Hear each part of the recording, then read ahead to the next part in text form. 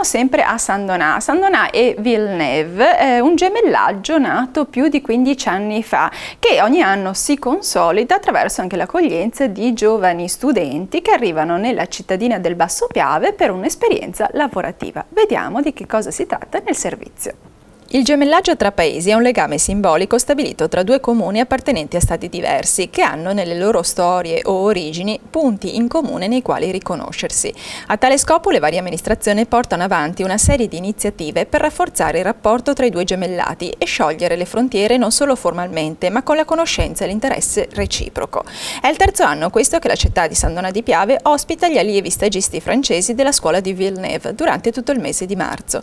I sei stagisti di quest'anno, accompagnati accompagnati e seguiti ogni giorno dai loro professori, sono stati accolti da alcune aziende sandonatesi del settore della coltura floreale, dove hanno potuto acquisire una nuova esperienza lavorativa e nuove tecniche di preparazione.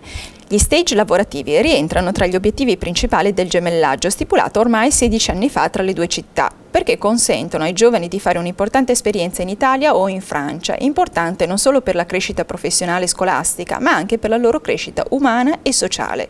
I ragazzi e le ragazze hanno potuto conoscere le nostre realtà produttive e commerciali, ma anche la città, il territorio, le bellezze di Venezia e di tutta la provincia e imparare anche la nostra lingua. Il gemellaggio italo-francese continuerà a investire nei giovani perché solo attraverso di loro passa la cultura dell'accoglienza reciproca, dell'apertura alla diversità e dell'appartenenza all'Europa Europa delle persone e l'anno prossimo la scuola di Villeneuve ha previsto di fare l'esperienza di stage agli allievi del settore agroalimentare sempre a San Donà durante il mese di febbraio e già numerose ditte si sono subito dichiarate disponibili all'accoglienza.